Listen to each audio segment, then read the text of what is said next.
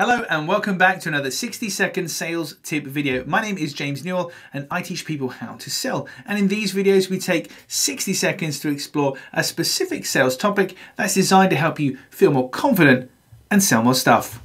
So let's get started. Today, I want to talk about timescales and more specifically, specific timescales. Now, when we're talking with a potential prospect, it can be very easy to tell them that this will take an hour, 24 hours, three days, three months, three years, whatever the timescale happens to be. Now, it's far more effective and a much better way to engage people in conversation, in a selling conversation, if you can take that timescale and change it into the real world. So if today is the 1st of September and it takes you seven days to do what you need to do, you can say to your potential buyer, it takes about seven days, so that means Wednesday next week, so the 8th of September, that will be completed for you.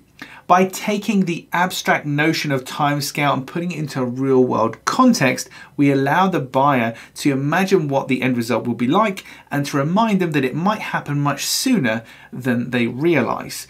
Although they know it's going to take seven days, by you being specific about the date can make all the difference.